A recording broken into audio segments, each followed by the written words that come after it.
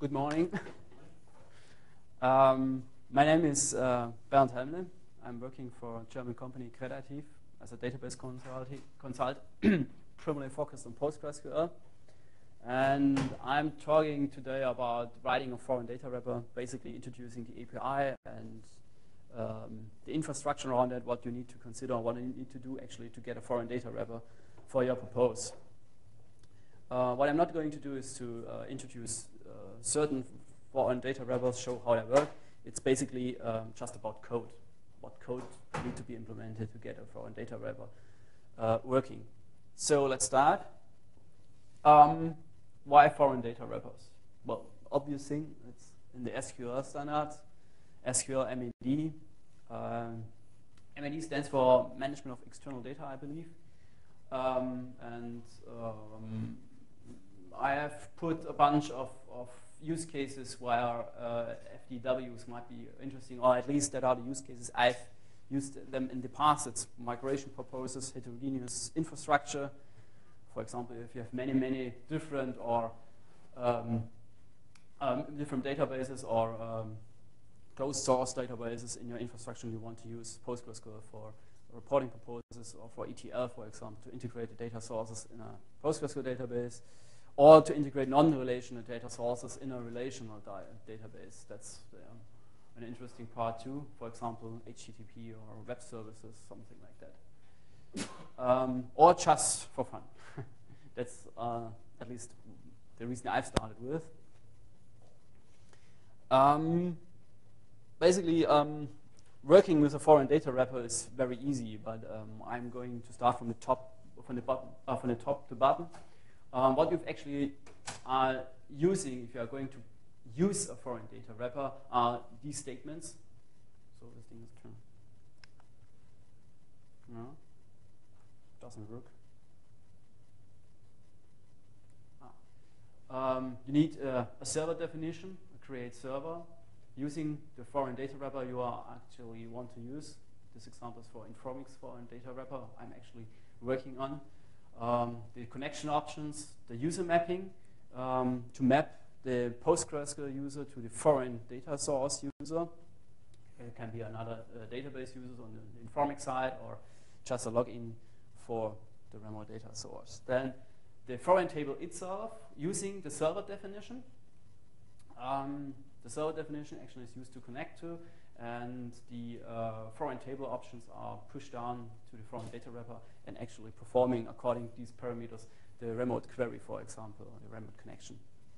Um, is actually someone using foreign data wrappers? I'm experimenting with them, oh. and I need to implement one, which is why I was glad. Oh, which remote data source are your target? Um, part of what I want to do with it is use it to integrate um, every configuration file on the system to make them available through a single interface in Postgres. Ah, okay. So I want to extend the CSV one to do other formats as well. Ah, that's interesting. Yeah, that's that's, that's another use case. Yeah. so if you have performed these steps, you actually can query the foreign data wrapper table.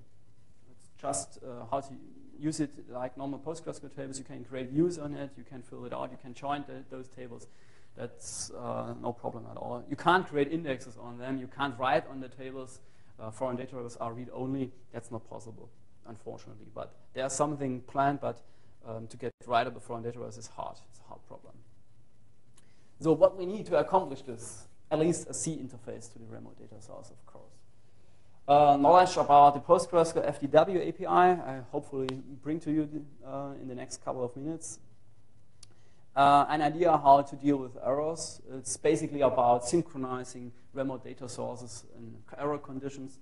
Um, if you have remote database, uh, this is like Informix, you need to synchronize them because you can't just throw uh, the transaction away in PostgreSQL without deallocating memory structures in the Informix library, for example. So you need to to synchronize the error handlers. And uh, the mistake I've did in the past was not to think about the error conditions before. So that's likely the most problem I have now, but uh, this can be solved if you think about it in, in the forehand. Um, then remote data mapping, how to map the remote data types to Postgres data types. That's an important step. And time and steadiness. Because uh, you have to think about many, many parameters and problems or you might face with them. But mostly are just uh, regarding integration of remote libraries, for example, client libraries. There's also the Multicorn project for Python gurus. This might be of interest because uh, it's written in Python and you can then write your own foreign data wrapper in Python. It's um, easier than writing one in C, but uh, I had a short look at it. It's not uh, that powerful if you write your own C interface, for example, but uh, it might be an, an, an option.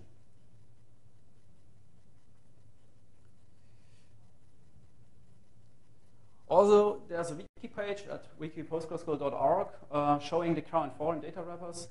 I've originally planned to submit my Informix wrapper for the PG conference, but unfortunately I ran out of time for private reasons and didn't manage to make a release. But uh, keep an eye on it.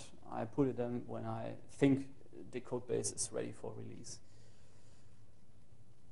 Okay, let's start. So the very first thing you need to implement are actually two functions. Um, a handler and a validator function. Here, uh, for example, the Informix foreign data wrapper handler and Informix foreign data wrapper validator. This one are defined uh, in the extension module. If you are going to write in foreign data wrapper, you need to write an extension. I'm not covering extension handling here, so I redirect you to the documentation about create extension, how to write one, but that's basically what you write in the SQL script for extension and the create foreign data wrapper at least, uh, defining the handler and the validator functions. The handler function is responsible to register the FDW API callbacks in the PostgreSQL backend. Um, that's basically enough what you need to do in the foreign data wrapper handler. Just uh, make an FDW routine structure with make node and assign the callback hooks to the structure and return. That's it.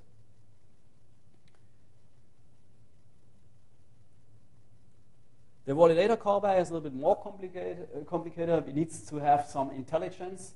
At least the purpose is to validate foreign data options uh, passed on via create foreign table and alter foreign table. If you go back in the slides, um, it, uh, it? It at least validates those uh, options passed on here for well, if they're well formed, if they are known or ambiguous, and such things.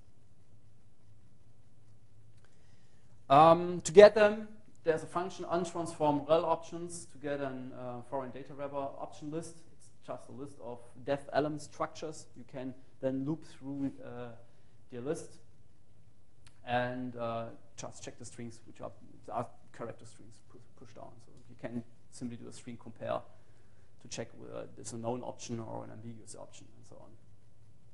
The options which you want to support is up to you. You can pass down any options you would like, or reject options, for example. That's not a problem. But that's the main purpose of the validator callback.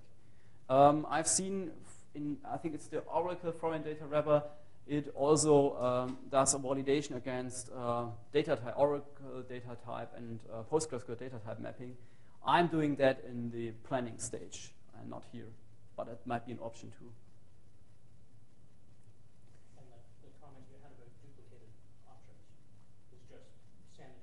Sanity check. It's a sanity check, yes. Because you then get the last one and override the first one, for example, it's, well, the principle of least surprise. But that, that's the main purpose of, of the validator callback. So, um, there's also a header file worth to read, the foreign foreign.h file in the PostgreSQL source tree. Um, I recommend to have a look at it because it defines some uh, helper functions those helper functions are now documented in the 9.2 documentation. They are missing in the 9.1 documentation. That's the reason I'm mentioning it here. Um, there are some helper functions to get, for example, uh, information about the foreign server you are currently using. Uh, it returns a struct foreign server or get user mapping returning a struct with information about the user mapping actually retrieved with the user OID and server OID. The uh, foreign data wrapper by name function got foreign table is the most interesting function here because you can get foreign table definitions with them. Not the columns of the foreign table. That's not containing in the foreign table structure, but information about the foreign table itself. For example, which server is it using, which user mapping, and so on. Which options are passed down. You can get them from them too.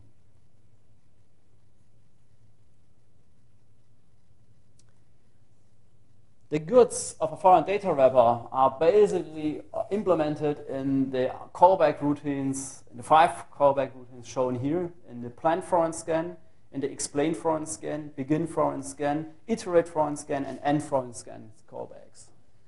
Um, they are run on different uh, stages. For example, the plan foreign scan is run to uh, planning time. It, uh, its purpose is to retrieve the um, foreign scan costs and row estimates uh, to initialize supporting structures for remote access. That's basically what I'm doing in the planning stage because if you have a remote database, it's well obvious to use the remote database cost estimates. So you need to establish a database connection anyways to retrieve them. Um, so I'm basically establishing a database connection at the planning stage. Um, the planning info and uh, the cost estimates are basically contained in the planner info and rel opt info parameters. Um, those structures have some important fields, which are shown with the sample code here. The most important uh, values are in the plan node. So if you are entering a plan foreign scan callback, the first thing you do is allocating an FDW plan structure with make node. Then you're going to initialize the startup costs. Here, for example, I'm honoring a cache database connection. Uh, a new database connection is more expensive than a cache database connection, so I'm weighting a little bit higher. Then I'm getting the estimated rows from the Informix connection and initializing the base row, rows and width values with the average row size in bytes. And then calculating the total cost. This is a very crude formula. Uh, maybe you need some more sophisticated here, more fingering, but um, that's actually what I, have come up with at the moment. It just calculates the rows, um, uh, the, the row estimate costs based on the average width and uh, number of rows, and uh, it assumes it can, for example, write 8 megabyte per second per remote connection. So it's up to you what you are actually calculating here. Um, the plan foreign scan, I think it's gone in 9.2. It's uh, divided in three actually uh, callbacks now. Get uh, rel size, get, uh, get foreign rel size, get foreign path, and get foreign plan. Um, I'm not covering this here for 9.2 at the moment yet. But um, that's what you need to do for 9.1. 9.2 has significantly changed here. Hey, where did you get the numbers 501 That's just an, example from me. It's just uh, to honoring a new connection or a cache connection. But I mean, what's the basis for the, for the cost? Just because that's what the default is for. Uh, it's just a default. It's just default. Yeah. It's just to think about that a new connection is more expensive than a cache connection, for example. But you can also honoring. Uh, how, do you know what magnitude that should be relative to other things? Yeah, that would be more interesting to get a magnitude than to push down, for example, with a foreign data wrapper option or something like that. Yes. Yeah, I guess I would wonder why you're thinking about that at all, because Planner doesn't really have a choice as to whether you use the mm -hmm. connection or not, does it? Okay. I'm just, uh, well, it's, it's basically only, I've, I thought a cache connection has basically um, already reused the table. So it's basically, for example, in the cache, for example, on the remote database side, such things, for, for example, that it's yeah cheaper to, to retrieve the, the, the query data. Just, it was just a thought. It's not based on hard numbers. For example, I've seen the Oracle uh, foreign data wrapper uh, is uh, calculating co costs uh, honoring the um, network speed. It assumes that it can um, write 8 megabyte per second over a network connection and calculates the costs based on the row estimate uh, with honoring the network speed.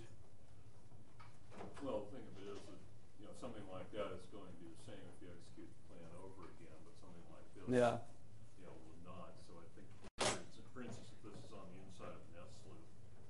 Mm. You know, second or third time through the loop, presumably you have a cache. Yeah, yeah, okay. Yeah, that's true.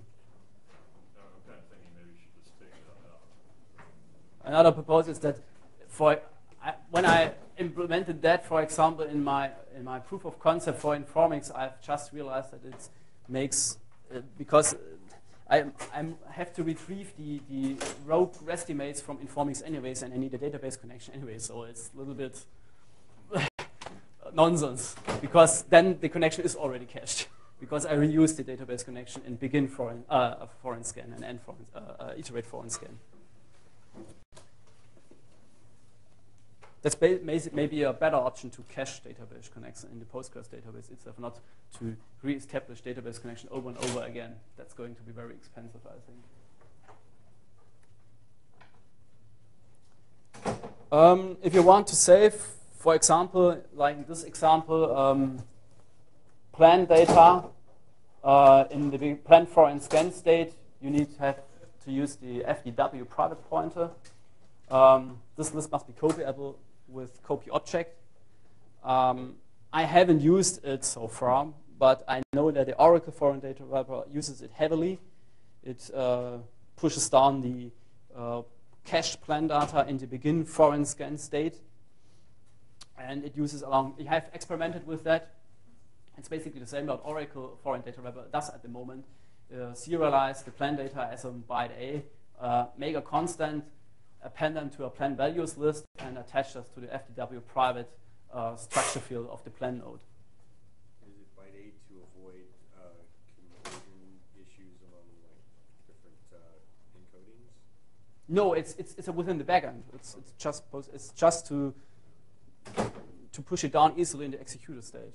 Because uh, Tom knows that certainly better. I think the planner is not pushing down the values; it's just copying the values, and that's the reason why it needs to be a, a list.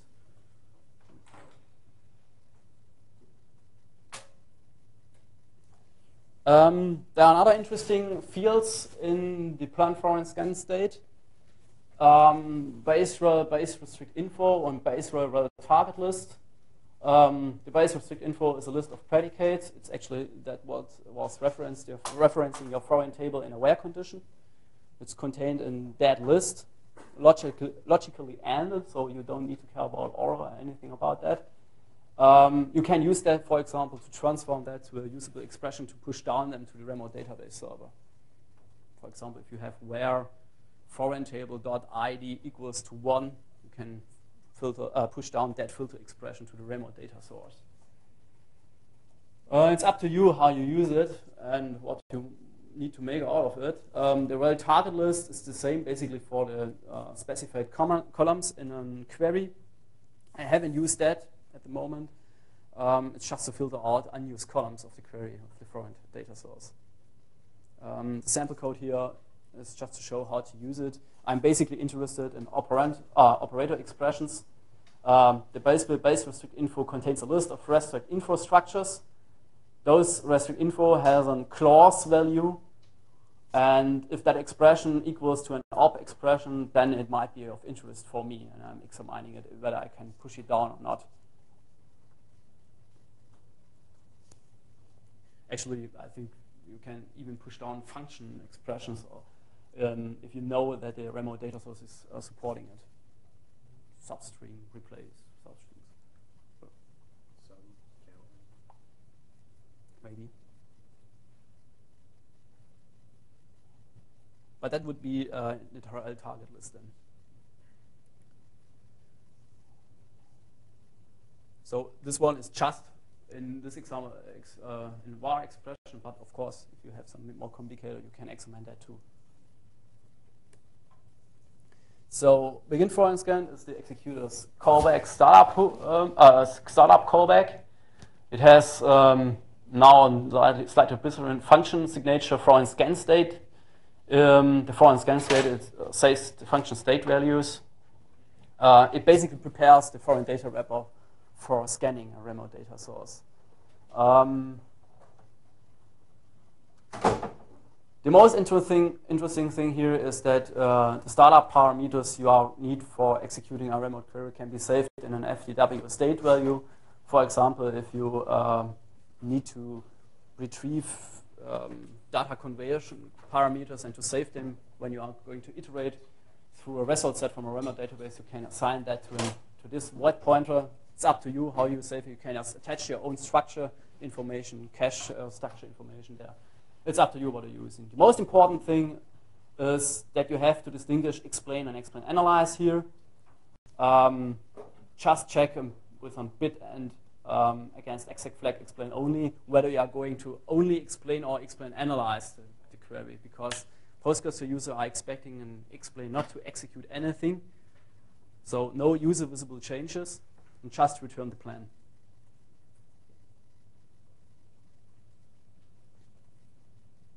Explain from scan uh, and once again, I oh know I've already told it, okay. Uh, explain foreign scan is when explain is used. Um, it's there to inject information into um, the explain output. Um, well, if you don't have additional information, just return, or you can return actually, for example, the query, which is used against the remote data source, or uh, for example, the cost calculations you did, additional cost calculations you did, and timings, etc.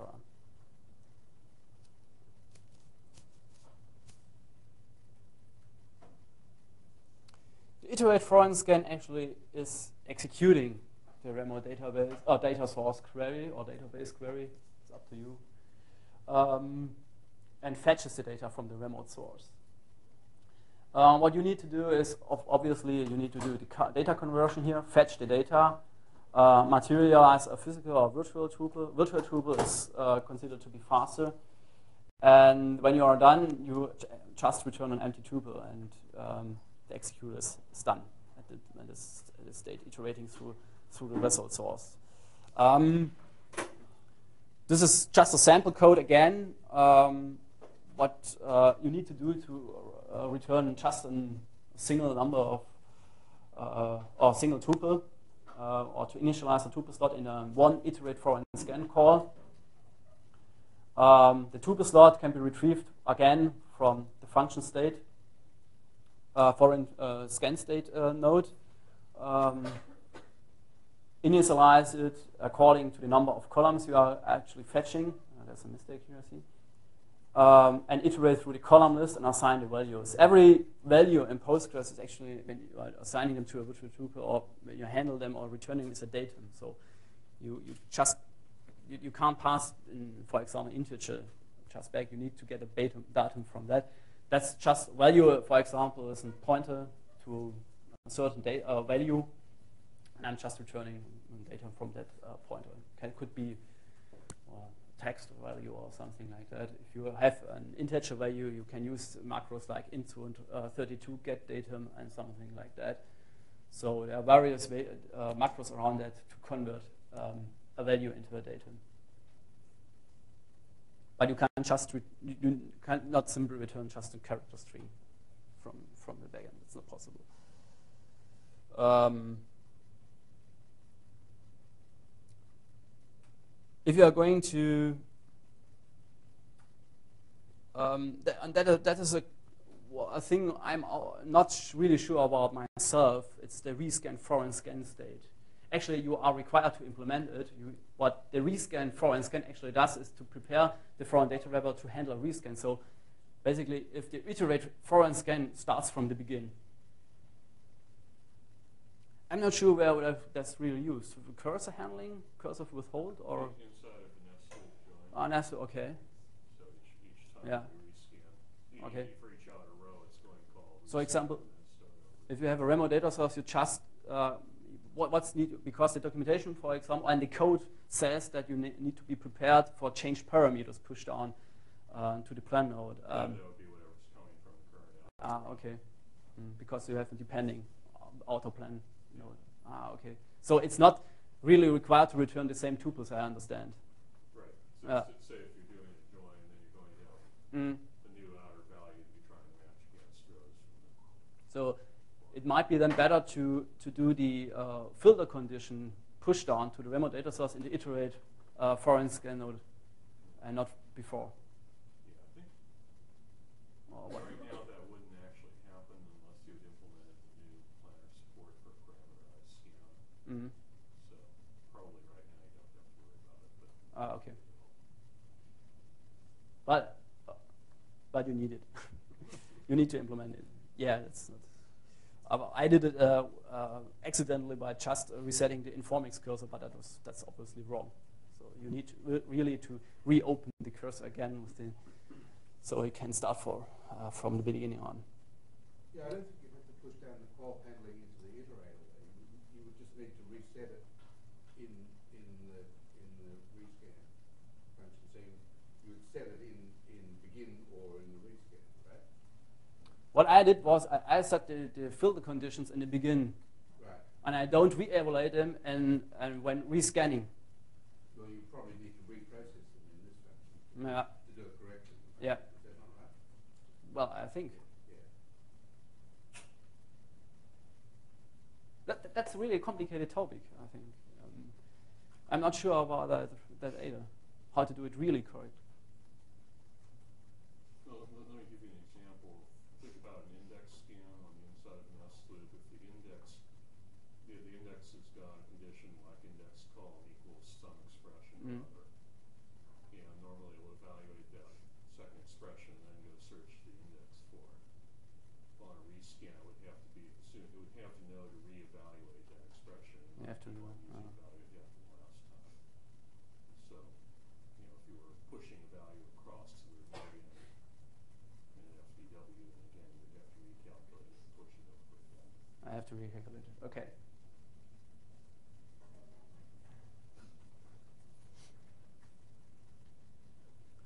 So the end foreign scan is the uh, is the uh, callback when the executor actually ends a foreign scan. It finalizes everything. You need to close the resource set on the remote data source, clean up your resources, um, the connection, freeing memory, and so on. Everything you don't need anymore. Um, uh, the graphic is not really nice, I see.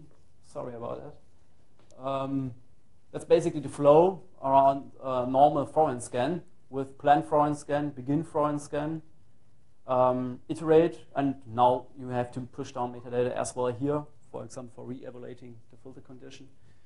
And you have multiple steps, the iterate foreign scan for each fetch, and basically the end foreign scan, um, at least. Um, if you are going to use an explain, you don't have the iterate foreign scan, but you have an explain foreign scan node here. And if you have an explain analyze, you have an additional explain again with the iterate foreign scan steps. That's the main difference. With 9.2, the plan foreign scan, as I have, I have already said, is gone. Actually, three callback hooks now. Uh, what 9.2 has now uh, additionally is a um, callback routine for analyze. So You can implement your own analyze function to collect remote statistics there. I haven't looked at it uh, yet because um, haven't had the time yet for experimenting with it. But the analyze uh, callback can be then used, for example, to retrieve the remote costs, store them uh, uh, in the system calc, and um, let the planner do the right thing. um, Andrew, I think the, the file FDW for that is actually having an analyze function. Uh, my job, I can't remember. Uh, uh, it's got some, it's got some, some basic calculations. Some basic Yes, calculations. but it's, it's very rough heuristic. Yeah. Very, very, very rough. Okay. But it might be an example Yeah. how to use it. Yeah. So if you want to look at that, look at the file FDW driver. I'm going to do it. Um, additional words about memory management for all those who didn't actually uh, did the backend hacking uh, in the past. Um, you have to take care for memory allocation. Postgres uses palloc and allocates memory always in the current memory context. If you're using external libraries, you always tend to use their own to use their own malloc or memory allocation uh, functionality. So take care about that. You, you can't leave it up to Postgres to do the right thing on transactional board. You need to clean up the external libraries yourself. Um, that's really important because you then you leak memory. Uh, PostgreSQL backend is designed to stay longer. For example, if you're having pool or something like that. Um, and that's the next thing. I, next thing um, I'm coming to it. Uh, it's wrong uh, in slide. Sorry. That's error handling. Um, you really need to synchronize uh, data sources when you have uh, error conditions in the PostgreSQL backend or in the remote data source itself.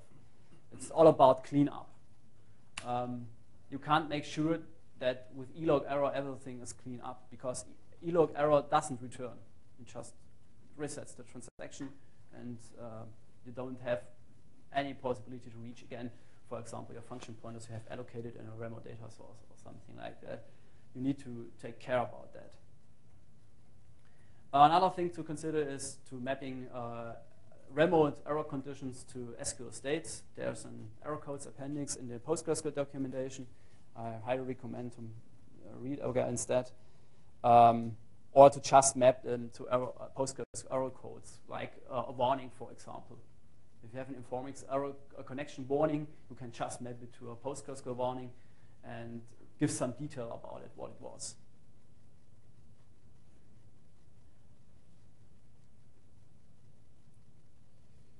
Um, one problem I had was, uh, I think it was during data uh, type conversion, that I need uh, to react on errors in the backend errors to give my remote data source the chance to clean up. Um, if you're using, uh, we are coming later to it, uh, for example, type input functions, and you are uh, issuing misformed data to a type input function, it errors out, and you have to take care in for example, that you track the memory allocations on the remote side. Then you might use uh, a PG try, PG catch block. That's a very interesting infrastructure in C or in the backend. I think that's an example how I'm going to use it. Um, I had a problem with Informix because you can use. Uh, has anybody used Informix in the past? Yes. Um, for example, you have an SQL-CA or SQL-DA structure, and you need to deallocate that. And in this case, this is what basically the IFX prevent call second uh, is doing, freeing the resources. Um, the type input function, I'm coming to it later again, is throwing an error in case you have misformed data here. And I need to react with that and rethrowing the connection. Don't suppress the error, rethrow it. That's an idea from Andres. Thank you.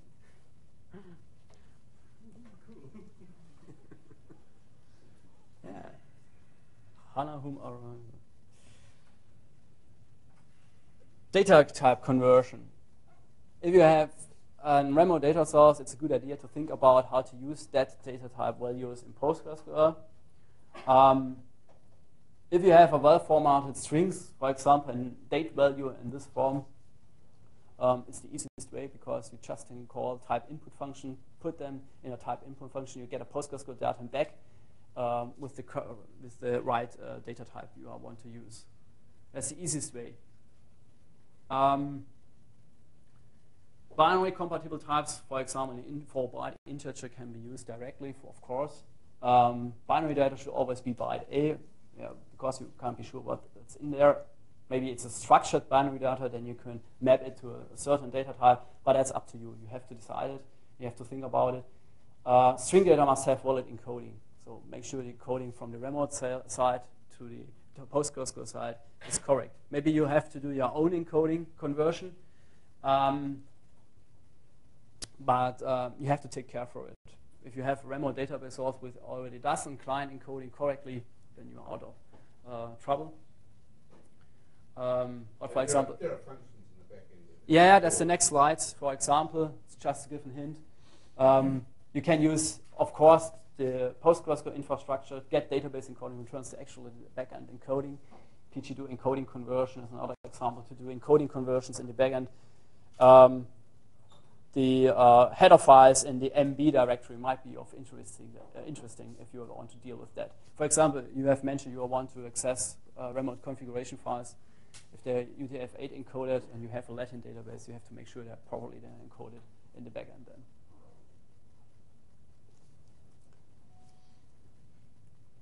Um, wrong direction. Here's an example to get a uh, type input function.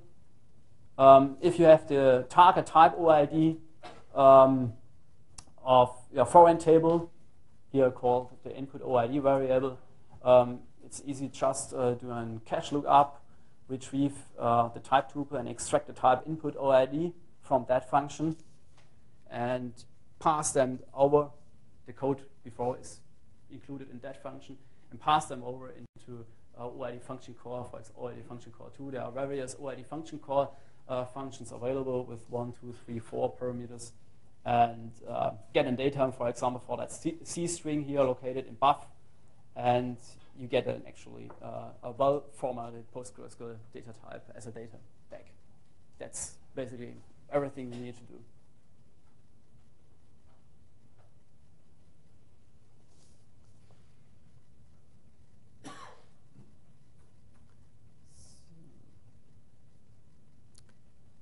So I'm basically done. Um, do you have any questions? Did you get some sort of uh, ideas about what uh, what the writing API would want to look like? The, the write API, what? The the, the, the, the, the API to do writes. Writes. Oh, I think writes is, is hard. Well, yes, that, that, yes, that's that's why it's not in the first iteration or Uh, the, the first thing iteration. that come to my mind is that uh, you need to, to have to synchronize the transaction, of course, of the remote data sources. I think that's that's the most inter interesting part, because if you have a transaction on the remote side, a transaction on the PostgreSQL side, you must be able to to react, roll back the transaction, to synchronize them. It's basically a two-phase commit. Don't know.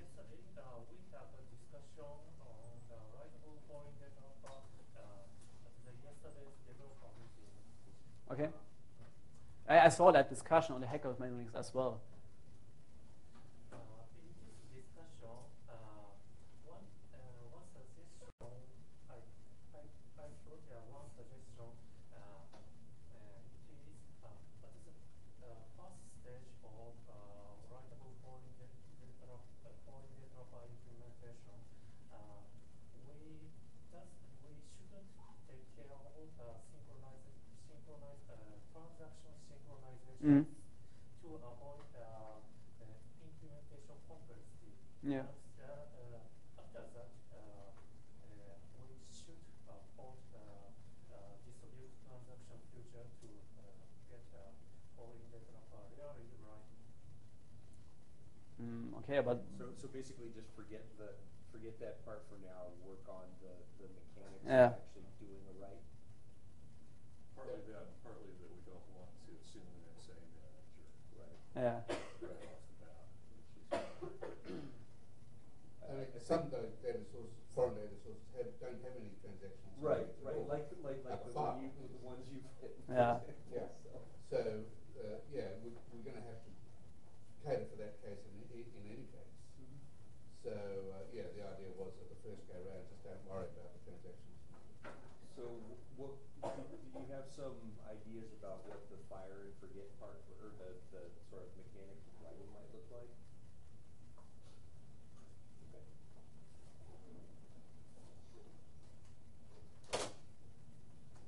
Okay. Okay. Got a question over there. Oh, So, so you mentioned that uh, virtual tuples are cheaper to instantiate than physical tuples. yeah. What are the limitations of using virtual tuples or the advantages of using physical? Oh, I don't know that. That's a recommendation I taken from the source comments, where the virtual, uh, virtual tuple is going considered to be faster. I, physical tuple is uh, tup- is materialized, I think. Virtual tuple isn't. It's just a tuple store, I think. You know, if, if there's any point in materializing at the next level, I'll Yeah. do it automatically. So, Basically, the virtual tuple is just a list of the Mm. names. And if you go ahead and force that in physical form, you're just doing work that might not be identified. I have a question, this is kind of for everybody. I I had an idea for a foreign data wrapper a while back, and I have not got around to trying. But, uh, first of all, like, would anybody be interested in it? And if so, any of you guys have an idea of how hard it would be to write a foreign data wrapper for PG dump files? PG dump files. Okay. If they were of type, uh, dash FC, of course, but often you have either not enough space to restore an entire database to get a single record out, or you're not sure whether there's something in there that you want, wouldn't it be nice if you could just point at one data wrapper, clear it just like Yeah. that data And, is, uh, or have and, it and the perfect use case. Yes. Yeah. And I'll tell you, the perfect use case for that is actually if you have a block corruption. Right. You only want to restore that block. Or Yeah, something yeah. yeah. your users, or, or, or it seems, seems like it would be useful to me, it also seems on the face of things that it would be relatively easy because all the stuff we're interpreting in the file is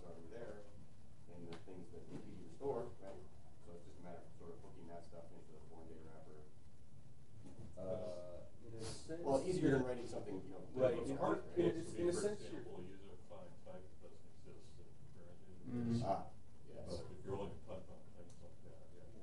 And I'm in- looking a to extract one row, uh, if it's an FC, that means you have to decompress it Right. to access it. You'd almost be better off having an ASCII text dump and figure out how to map into that to find the right copy statement and just parse that one. Well, the, the thought, the thought was that FC has a table. Yeah. Yeah, Custom yeah, format is yeah, much I- better. I don't believe an ASCII dump would, would work very well, but I, it might be possible. I mean, the, the compression part isn't, isn't, isn't terribly difficult. I mean, I, but I've got, I've already got Perl code, for instance, which will take a, the, the, the header of a, of a dump file Mm. and parse it out so that you can actually examine the information Right. in nauseous detail. um, so it wouldn't be very hard to adapt that. Once you have that, you, you would know exactly where the pointer in the file was at the start of the data section for the table you want, and then you would just have to feed that as a stream into into the decompressor. Yeah. And You don't even have to read all the I, data. Yeah. I, I don't know if this is shaving too many yaks, but it sounds to me like we, like it would be a good thing to go to a libpg dump and then, you know, Right. start writing applications and call into that. Yeah, that's somebody had Because brought that up. if- I if assumed it was already in we- the library, but it's not, right? No, no, but if we, if we, if, if, if, if there's one person that's writing one app that talks to PG dumps, other than PG dump, Right. it's starting to sound like the worthy goal would be to write a libpg dump first. So does that sound like something that people think would be useful? No, no, I wanted to do that for five or ten years. Because otherwise screaming. Take it, Federer. Thanks. I mean, p- p- part of the trouble is that there's an awful lot of version dependent information in in uh, in PG dump particularly, which Right. which, which is, is Well, ac- actually, uh, I take that back because all that mess is on the dump side. that's true. Extracting the information from different ver- server versions and whatever, but. you Oh, know, we could we it's could interesting. invent, we could invent a simple API, a simple library to talk to dump files. Yes. Yeah, yeah, I can definitely imagine that. Yeah, that that that would be a possibility. The other question is, is it worth doing work? Does anybody think that would be useful? Yeah. Right. Well, I think seems, so. seems sort of logically useful, especially for people that have gigantic dump files where you don't have enough room to restore the thing, just to get, Exactly. you know. Mm. Cool. So maybe I'll take a crack at it. Uh, What about the uh, overhead of ex- establishing connection? Yeah. Did you measure and did you think about uh, batching queries, for example? Because sending one query each time is very mm, expensive. Yeah. But if you just batch 100 queries and send it to binary protocol and receive an answer, maybe much easier, faster. I don't understand batching queries. Why? Why do you need? Not You have send basically. one query, but 100 queries. Well, um, I can read. For example, if you are using Informix, you have basically three queries which you are actually executing. You, you need two queries to get. Um, yeah, actually four. De- declare a cursor, open the cursor. Uh, you need to allocate an SQL stru- structure, but that's basically ASQLC, so I think it's on the client side. Um, then actually ex- executing the uh, database query, that's it. No more. No more. I think the most important thing I, I can speak for from Oracle and from an Informix uh, view is to ca- cache the connection. Uh, you need really to, because an Informix connection establishing is really expensive. Slow. Yeah, but I, in my opinion, Informix is, is much slower than Postgres. Or, or I think it's it's um, it's a magnitude slow. I, I didn't quite understand earlier, did you say that there was not a, a way to cache the connections, or just that you weren't using it yet? Um, I have implemented my own connection cache with an, it's Oh, basically an, an, an H tab and an hash table, which is uh, living in backend uh, top memory context and uh, managing, maintaining the Informix database connection, which are going to be reused for the various foreign tables. So what That that- saves uh, really a real amount of time. Right, so this is something I, I put into DBI link way back when. Um, Yeah. Is there, should there be more machinery for doing that Yeah. I think so. But the problem is that each remote data source connection has different parameters. It's, it's, uh, it's different. For example, if you are using SQC and Informix, you are going uh, to, it's embedded SQL, but what you are going to use like ECPG. It's the fa- favorite uh, interface to Informix. You can SQL CI, but that's really complicated and I don't want to use it. Um, it's just an identifier if you want to use the connection. Set connection identifier, that's it. You just need to maintain the, the, the character strings with the identifier. Um, but I know that, for example, OCI connection handlers need more information. So at least the infrastructure should HANA that you might attach uh, uh, your own structure to it, to the cache. But with a hash table, it's not that complicated. So, so you kind of want something that was like a pointer to a struct? Yeah, for example, that's what I do with, with an HTAB at the moment. It's just a, connection identifier with a uh, structure attached to it containing all necessary information.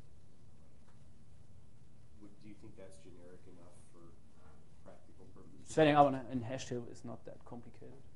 Yeah, at, at least for me. So I, I can only speak for me, but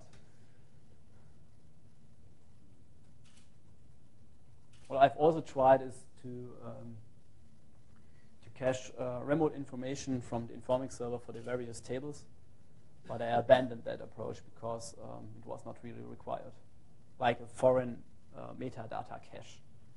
But I didn't use it anymore.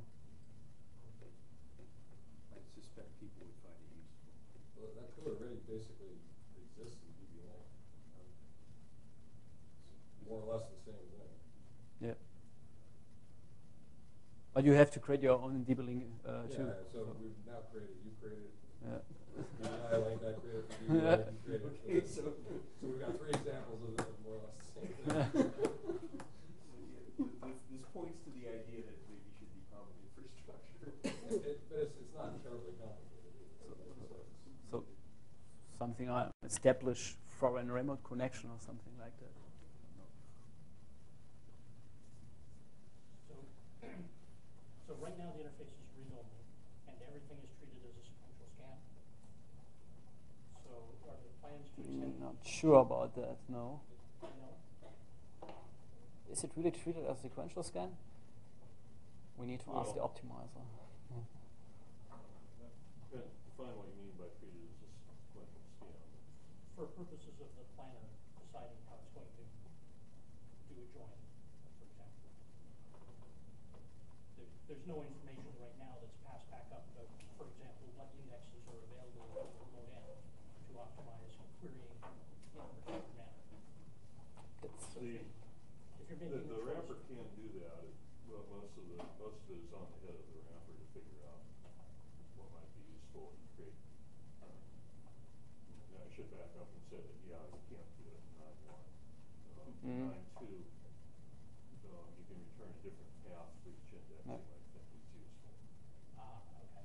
But there's, there's still no way to, for instance, if two tables are on the same foreign data server, the optimizer's gonna recognize that and let the wrapper No, we push can't, we can't do a remote join yet, there was some talk about that, but it's No. not, not implemented. Yeah, yeah, there was a draft patch, but it wasn't ready. M- Maybe nine three will have something to that. Well, I, I didn't What- necessarily mean going quite as far as asking for a remote join, but for the planner to be able to make a decision between, um, do I do a, a scan on another table, come up with a list of values, and because I know there's an index on the far side, Mm. I can issue those as individual queries versus do the, the query on the far side, get back a list of all that, and then do the join locally. Wasn't there a discussion about uh, indexes on foreign tables? You'd almost be interested in being able to issue a remote sort, so you could do things like a merge join. Yeah. Th- That's all possible in full line necessarily a lot of it's on the other route.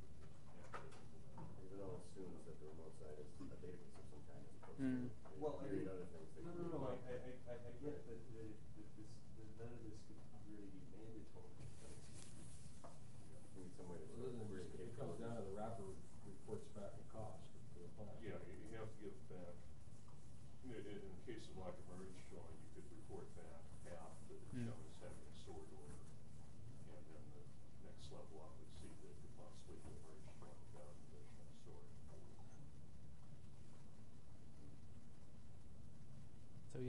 generate the correct path in the get foreign path function callback.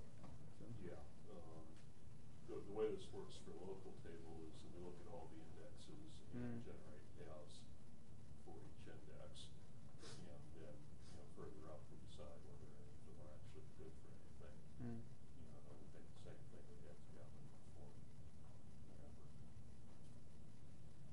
Wasn't there a discussion about indexes on foreign tables recently? I recall s- something. Somebody, somebody talked about, I thought the idea Yeah. was pretty much shot down. I haven't followed it closely, but just remember that. Yeah, I can't see how you possibly synchronize it. Yeah, that's. Yeah, that's the thing, that, that look back there to keep it. But what I'm thinking about is just an information. There is an index, just a virtual foreign index or something like that. But not sure about that. Well, I, can- I can see one case for that, which which would be if you had a foreign data wrapper and you said, I want to take a snapshot of this remote data source and then build an in- index on it because I'm going to do multiple queries. Hmm. And then do that. Yeah. Perhaps. Yeah, I'm not sure you really need the foreign copy to do that for you. Yeah.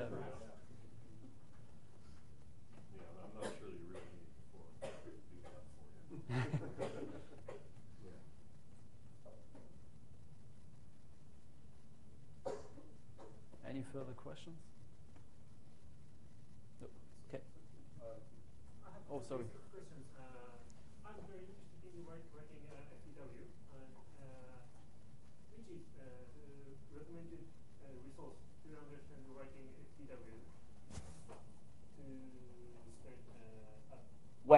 I haven't understand. Uh, depends on, depends on information or We're getting how to feedback write, back uh, to the right yeah, one. Understanding how to write. Just only example for, for Okay, so do you wanna, does he wanna start looking at the source code or some documents? Ah, okay. Of- correct me. Understand me. Uh, well, I started with just trying, and th- this this leads ultimately to studying the source code or looking at it. That's uh, the documentation is basic. There's uh, 9.2 has um, some improved documentation. I think the helper function are actually in the documentation now, but um, um, I think you, you have to study or to, to look at the code. And I pretty much recommend, for example, Albe Laurenz has uh, written the Oracle FDW uh, foreign data wrapper. He's the, this foreign data wrapper is really complete. It, it has uh, query predicate push down. It uh, evaluates the rel target list and can uh, it had various um, approaches to push down function calls to an Oracle database. It it has uh, uh, it has no connection cache, cache I I think. Um, um, it's pretty much complete. It's, it's a good starting point, I think. Um, I'm going to release the foreign data wrapper for Informix as well, but I haven't got a really stable code release at the moment. I originally planned that for PGCon, but I ran out of time, unfortunately. So keep an eye on the wiki page. keep an eye on the wiki page. I'm going to push it there.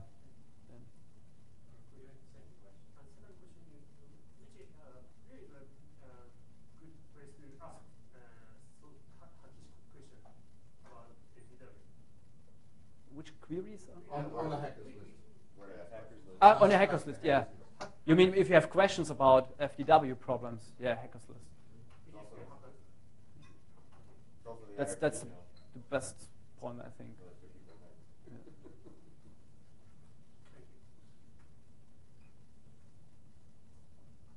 Okay. Pretty much in time. Thanks.